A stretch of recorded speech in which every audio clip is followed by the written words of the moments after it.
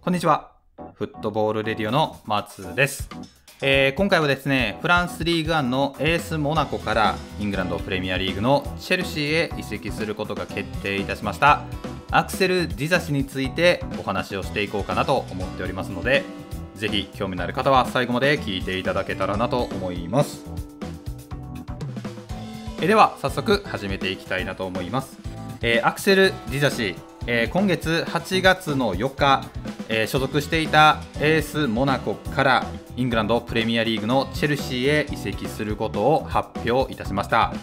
えー、両クラブもすでに公式発表しておりまして、え、来シーズンからチェルシーの選手として戦うことがすでに決定しております。え、移籍金なんですけれども推定4500万ユーロ日本円で約70億円というふうに言われておりますそして加入するにあたってアクセル・ディザ氏もクラブの公式サイトにて、えー、コメントを出しております。待ち望んでいた瞬間だ。このビッグクラブに来ることができて本当に嬉しい。この偉大なファミリーの一員になれることを本当に誇りに思うしここで大きなことを成し遂げたい。タイトルを取るためにね。その目標を達成するために全力を尽くすつもりだ。僕は野心家なんだというふうにコメントを残しております。えー、続けて、えー、彼のプレースタイルについても、えー、紹介していきたいんですけれども、え僕がですね、え過去に一度、まあ、アクセル・ディザ氏の、えプレースタイルについて、え紹介させていただいたラジオ、え投稿してます。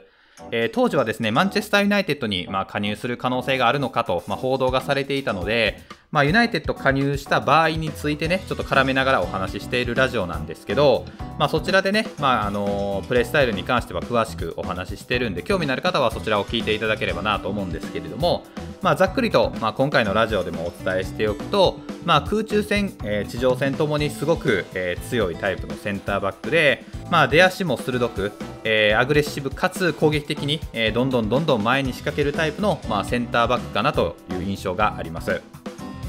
特に、まあ、個人解決能力はすごく高い、えー、センターバックなのかなという印象はありますね。はいで彼自身もですね、まあ、今回、チェルシーに加入するにあたって、まあ、コメントね、先ほども出していた、えー、紹介したんですけど、まあ、自分のプレースタイルについても、えー、紹介してまして、ま、こういうふうに言ってます。えー、僕はボールの位置をきちんと確認して奪い返すのが好きなタイプのディフェンダーなんだ。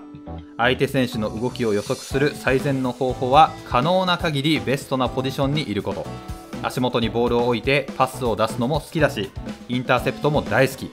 ィジカルを生かして相手にアグレッシブに仕掛けるのも大好きなんだ。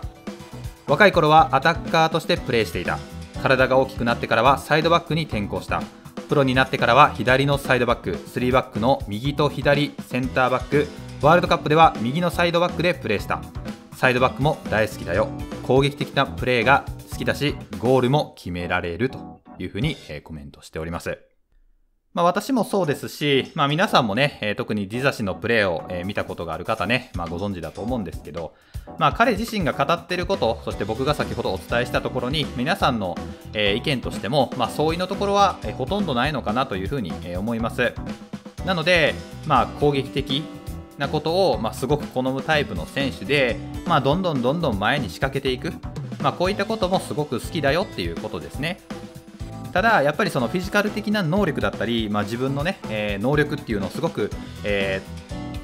重宝しながら戦ってきた選手なので、まあ、簡単にねこう入れ替わられたりすることはもちろんないんですけれども振り切られるとねその分背後にスペースが空いてしまってるんで、えー、味方にとって少しアグレッシブに仕掛けていきすぎるなっていうシーンも、えー、時折、えー、見受けられることは、まあ、彼の欠点の一つなのかなっていうふうには、え思います。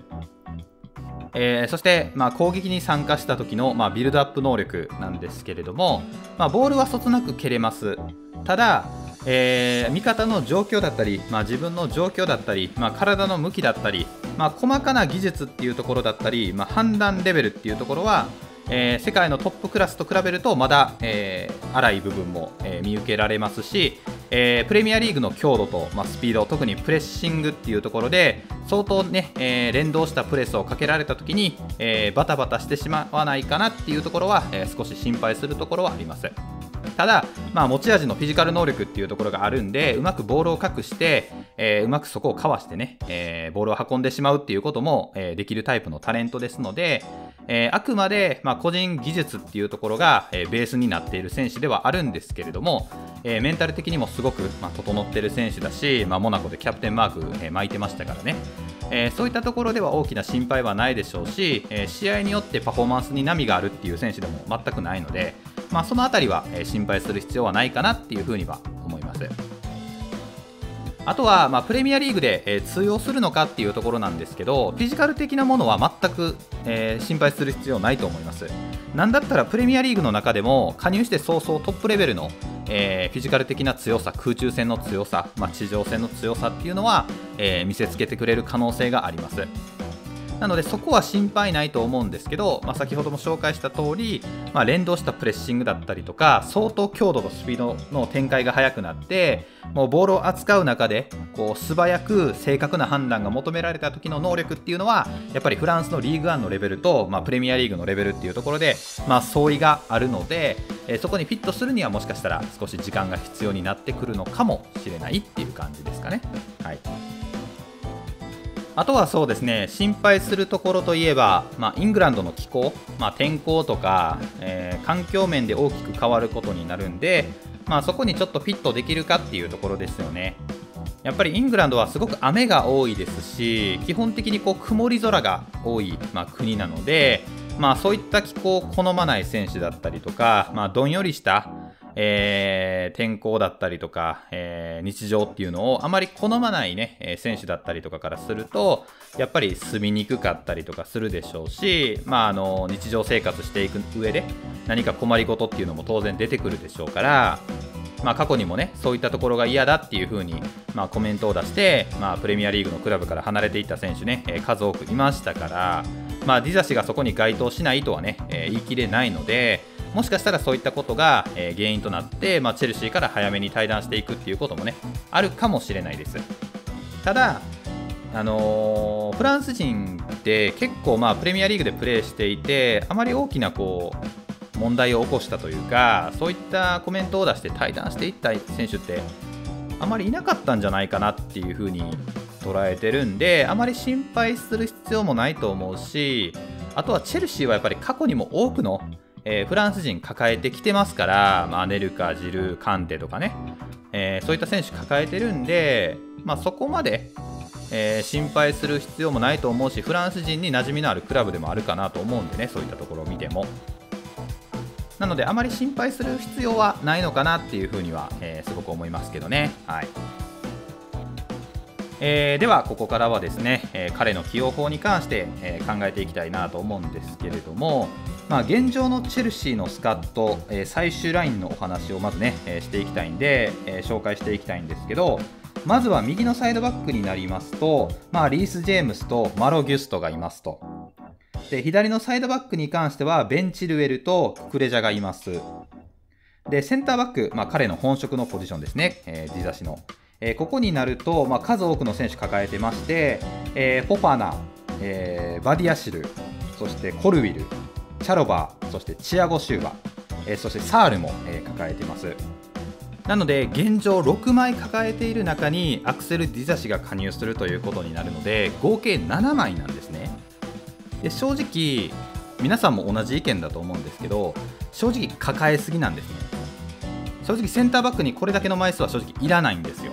まあ、主力級2枚にそこに絡んでいける1枚と、まあ、サブ的な要因として1枚抱えていれば、まあ、正直言って問題はない。なので、まあ、4枚プラス、まあ、多くて5枚目抱えていれば十分な、えー、状況だと思うので、これプラス2枚多いっていうことに今なってしまってるんですよ。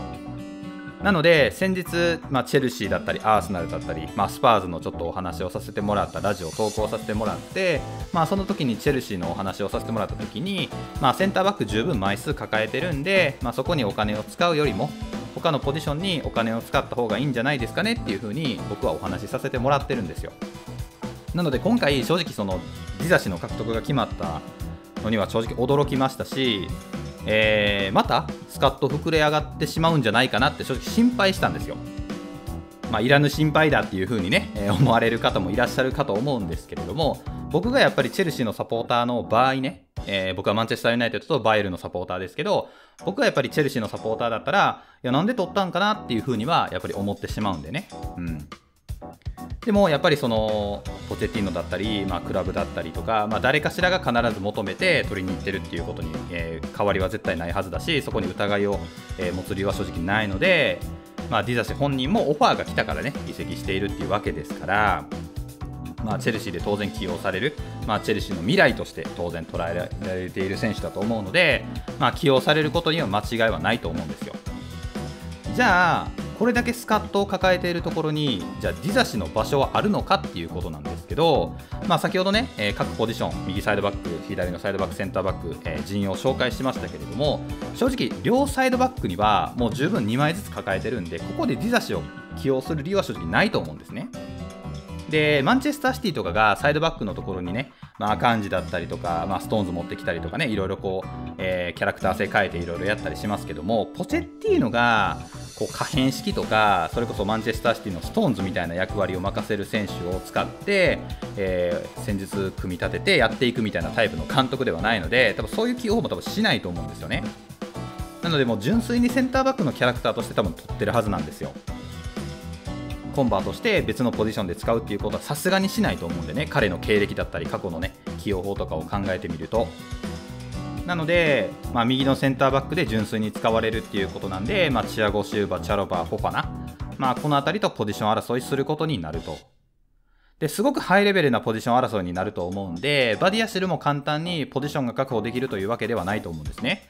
特にやっぱりチアゴ・シューバっていうタレントは確かに年齢重ねましたけれども、やっぱり一つ一つのプレーのレベルはすごくハイレベルですし、えー、チェルシーの最終ラインの他の選手には提供できない落ち着きだったりとか、まあ、勝者のメンタリティーだったりとかこうチームを引っ張っていくラインコントロールだったりとかこううまく頭を使ってチームにコミットメントしていくっていうところを、えー、姿勢でも脳でも行えるタイプの選手なので、まあ、彼はさすがに外さないと思うんですよ。となるとさすがにやっぱりすぐ出場機会は得られるのかなって言われるとちょっと難しい可能性もありますよね。なので場所は与えられると思うんですけど間違いなく。それはね獲得してるんで場所は与えられるんですけど出場機会はもしかしたらある程度限定的になるかもしれないなっていうふうには、えー、思いますね。あとはフォファナ。まあ、彼もあのチェルシーに来てからハイパフォーマンスをまだ提供できてないし、まあ、彼が一番、ね、ベストな状況というのはまだ見せられていないかなと思うんですけど、まあ、チェルシー、彼を、ね、獲得するのに相当なお金を使って取ってきてるわけなので、まあ、チアゴ・シューバがいて、フォファナがいて、使わなければならないタレントもね、えー、いる中での、えー、加入になるんで、えー、彼も当然ねそこにチャレンジしていくそこでポジションを勝ち取ってチェルシーの未来を支えていくっていうところに相当な意気込みを持っていってることに変わりはないんですけど、まあ、ちょっとね、えー、ある程度限定された中で、えー、ポジションを、えー、徐々に勝ち取っていくっていう戦いに、ま、なっていくのかなっていうふうには、えー、思いますね。はいあとは個人的にすごく見たいなって思うのは、左のサイドバックのところにコルウィルを使って、左のセンターバックにチアゴシューバを使って、右の、えー、サイドバックじゃなくて、右のセンターバックのところに、えー、ディザシを使って、右のサイドバックで、まあそうですね、まあ、ギュストだったり、リース・ジェームス使って、ちょっと右肩上がりみたいな形でね、えー、可変式用いてくれたりすると、すごく、えー、強いスカットになるんじゃないかなっていうふうに思いますけどね。やっぱりセンターバックの真ん中でチアゴ・シューバがラインコントロールしながら、えー、両脇のところではしっかりと勝負できる、えー、空中戦、地上戦でも、えー、力を発揮できるディザシが、えリース・ジェームスの背後のところをしっかりとケアしてで左のセンターバックのところではコルビルがねうまくこう球出し、え引き出ししていきながらゲームを作っていく。でコルビルも、まあ、まだ年齢が若いんでね。まあ、昨季シーズンはブライトンで大活躍しましたけれども、まあ、そこをうまくローテーションしていくっていうところでバディアシルそこに絡めていくっていうのもできますし、えー、当然ね、えー、ディザシのところも、えっと、フォファナを、まあ、起用したりするっていうこともできますから、まあ、正直現状のチェルシーのスカットだったら3バック化する形だったりとかもうスタートから3バックでいく方がいいんじゃないかなって 正直思うんですけどまあポチェッティーノがするかしないかは分からないんでまあ今までのね戦い方を見ているとあんまりしてる印象がないんですけどそのスパーズ時代とかパリとかね、まあ、プレシーズンでどうなのかっていうのは僕まだしっかり見れてないんではっきり言ったことはないんですけど。でもまあそういう起用法になると一人一人のやっぱり個性と特徴もうまく、えー引き出せて、なおかつビルドアップのところもうまく角度を作っていきながら前進することできるでしょうから、もちろんね、立ち位置のところももっと、えーこだわる必要あるんですけど、まあそうなったら面白いなっていうふうにはすごく思いますね。はい。ということで、えー以上になります。まあ、ディダ氏がね、まあ、加入したこと、本当に僕、びっくりしましたけれども、チェルシーのサポーターの方々はどうだったのかな？もちろんあの新加入選手っていうのはね皆さん喜んでいる方がたくさんいらっしゃると思うんですけど純粋に喜んでいる方がいるのか、まあ、もしくは喜んでいるんだけれどもそのスカットのところちょっと心配に思っている方がいるのか、まあ、はたまた全然違う考えを持っているのか、ね、それは人それぞれちょっと意見変わるんで僕もね直接今聞けてるわけではないんでわからないんですけど皆さんが今回ディザ氏のね獲得決まったことに関して思ったことえ感想などをぜひね教えていただければなと思うのと、まあ、彼をね起用する上でどういう風なね戦い方をしていきたいどういう風な戦い方をポジティーノに期待したいっていうのを、えーぜひねコメント欄とかで教えていただけると、えーすごく嬉しいので、えよろしくお願いいたします。あとはですねあの来シーズン、まあ、プレミアリーグね、もう間もなく、えースタートしていきますけれども、えー生放送でね、試合の方を見させていただきながらですね、皆さんとちょっと楽しくサッカーの話していこうかなとも思ってますし、えーまあ、テスト配信とかもね、ちょっと絡めていきながら、ちょっとね、いろいろチャレンジしていこうかなと思ってるんで、ぜひそちらにもね、えーお越しいただいて、まあ、チェルシーの話とかね、いろんなこと、えー情報も提供していただけるとすごく嬉しいので、えお待ちしておりますので、よろしくお願いいたします。はい。えーでは最後にチャンネル登録とコメント、Twitter、Instagram もやってるので、よろしければフォローの方もよろしくお願いいたします。ご視聴ありがとうございました。